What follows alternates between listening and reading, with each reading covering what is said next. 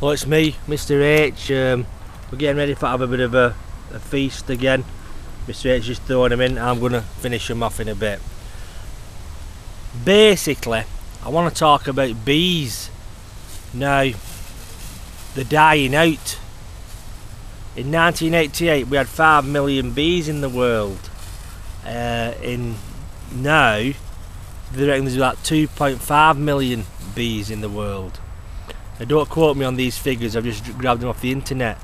In 2006, um, a coin, a term was coined for the destruction of bees called, what was it called? I'll just check my paper.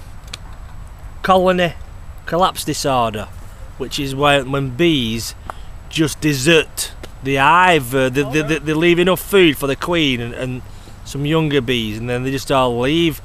And they reckon, they reckon there's a since 90s we've been using a pesticide called neonicotinoids, which have obviously from some nicotine chemical in them. But that is um, as well as getting rid of Whatever insects, whatever. It, it, it's very harmful to bees and causes disorientation with them, and they don't know where they're going and things like that. You know, but the thing is, Mr. H, as I've researched, 70% of the world's food sources rely on bees. Bee cotton is made by bees. You know what I mean? Yeah. And they reckon if uh, bees died out, we'd only have wheat, corn, and rice to eat. Well, they pollinate things, don't Well, exactly. Without, would there be no flowers? There'd be fucking. People don't realise um, that it's a it's a. Ein- Einstein is quoted as saying, "If bees die out, um, man will be four years later." No, it's not Einstein who said that. I've done some research. It was a bloke called Maurice Maeterlinck. He was a Nobel Prize winner. Uh, who wrote a book, The Life of the Bee, kind of thing. Ah, But I'm actually thinking of doing a bit of beekeeping and stuff like that. I, I wouldn't mind getting my own hive, you know.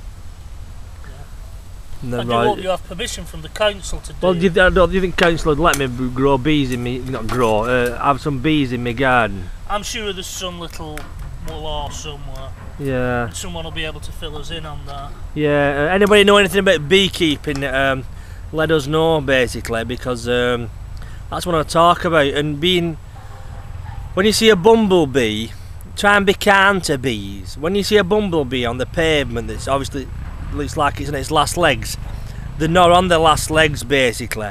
Um, I wish that cunt was on his last legs, he's on that crosser.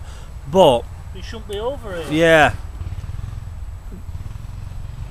The bees are just tired, and if you get any water and sugar and put it on them, they'll, they'll eventually buzz off or something with sugar in it. You know, so if you see a bee on floor, help it out. It's a bit tired. You know what I mean?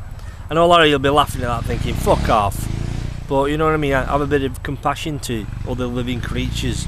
That's what's wrong with the world. There's no compassion anymore. You know. Thoughts, Mr. H. Well, this is it's a good thought, really, what you've pointed out regarding bees.